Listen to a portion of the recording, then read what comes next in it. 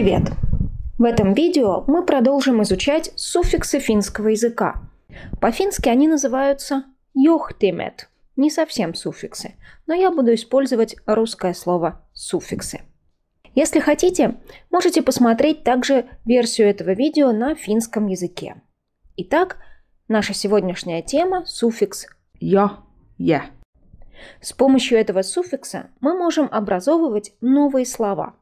Присоединяя суффикс «я», «я» к глаголам, мы получаем новое слово, существительное, которое называется «йохдос».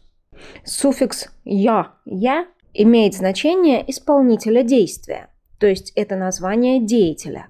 Часть таких слов – название профессий. Рассмотрим, как суффикс «я», «я» присоединяется к разным глаголам. Начнем с первого типа глаголов. С конца глаголов первого типа убираем окончание «а», «э», и к сильной основе присоединяем суффикс «ja», «jä». Opettaa, opettaja. Piirtää, piirtäjä. Ratsastaa, ratsastaja. Matkustaa, matkustaja. Katsoa, katsoja.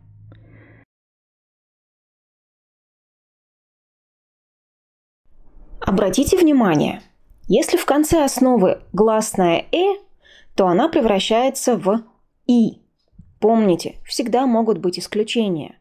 Спрашивайте в комментариях, если не уверены в чем-то. Со вторым типом тоже все просто. С конца глаголов убираем окончание «да», «да», и присоединяем суффикс «ja», «jä». Myydä, myyjä. Syödä, syöjä. Saada, saaja. Tuoda, tuoja. Внимание! Во втором типе глаголов есть три глагола, которые очень часто являются исключениями из общего правила. Так и здесь суффикс «я» будет прибавляться к другой основе. С остальными типами глаголов немного посложнее. Сначала мы будем находить основу, и для этого образуем минамото – форму первого лица единственного числа. Перед вами глаголы третьего типа в инфинитиве и в форме minä. Opiskella, opiskelen. Pyöräillä, pyöräilen. Tulla, tulen. Luistella, luistelen. Pestä, pesen. Убираем окончание «н», и у нас остается основа.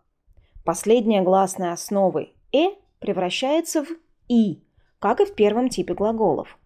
Затем присоединяем суффикс Ja, jä. Opiskella, opiskelija. Pyöräillä, pyöräilijä. Tulla, tulija. Luistella, luistelija. Pestä, pesijä. Четвертый тип глаголов. В этом случае удобнее сделать хэн-мото, потому что тогда не придется убирать никаких окончаний. Но можно сделать и форму мина, а потом убрать «н». Затем прибавляем суффикс. Ja, jä. Osata, hän osaa, osaaja. Korjata, hän korjaa, korjaaja.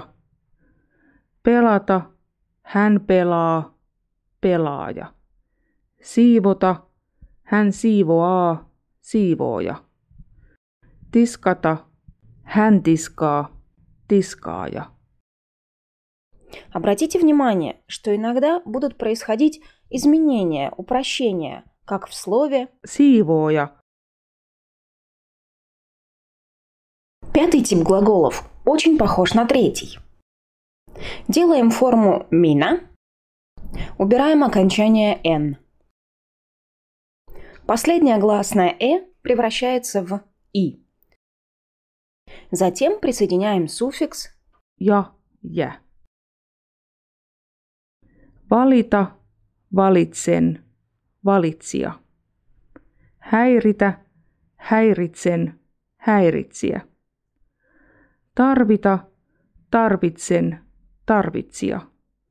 Hallita, hallitsen, hallitsija. Шестой тип глаголов. Это маленькая группа слов. Возьмем для примера глаголы Paeta, vaieta, Уже привычно образуем форму «мина». pakenen, vaikenen. Убираем окончание «н». Последняя гласная основы «э» переходит в «и». Затем прибавляем суффикс Ja, jä. Pakenija, vaikenija.